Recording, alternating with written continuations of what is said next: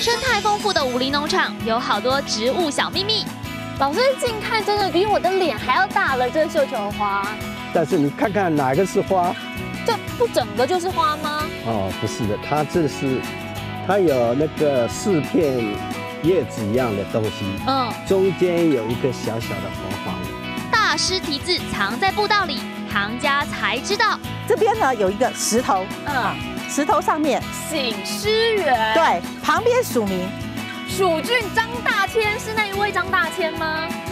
蒋公行馆内部曝光，卧室摆设猜一猜。你要不要猜猜看，哪一间是夫人，哪一间是蒋公住的？哦，所以两间卧室他们是分开睡的。对对对为什么要分开睡？嗯，全台封露营，武林露营方式多，新手也能轻松加入。哇，这床垫比我家的床垫还软呢，这样会不会太舒服？虽然它这边只有铺两个床垫，但它其实相当宽敞，可以睡到四个人没有问题。